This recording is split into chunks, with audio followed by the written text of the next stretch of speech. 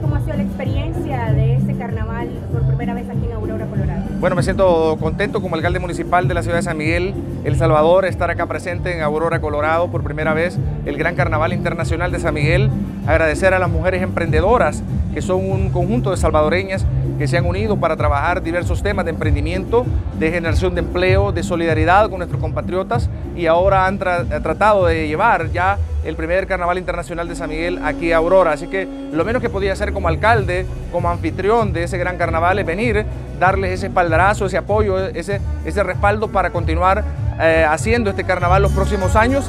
Y por supuesto que reitero mi felicitación a estas mujeres y motivo y motivo también a todos los salvadoreños en el exterior a que puedan realizar este tipo de actividades para llevar nuestra cultura, nuestra diversión a cualquier rincón de los Estados Unidos. Así que este es Miguel Pereira, tu alcalde, y los espero en el Gran Carnaval Internacional de San Miguel este 30 de noviembre. No te lo puedes perder, porque para reír y para gozar no hay más lugar que San Miguel en Carnaval. Gózalo, ahí debes estar. Me siento muy orgullosa de estar representando una de las más grandes tradiciones del Salvador en Colorado al ser la primera reina del Carnaval de San Miguel hecho aquí en Colorado gracias a las salvadoreñas emprendedoras.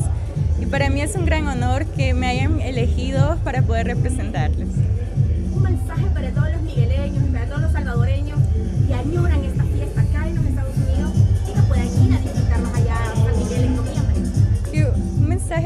Que lo disfruten, que aprovechen que los tienen ellos allá, que lo tienen a la mano no solo los migueleños, sino que todos los salvadoreños que vayan, que vayan a San Miguel en noviembre y disfruten del carnaval.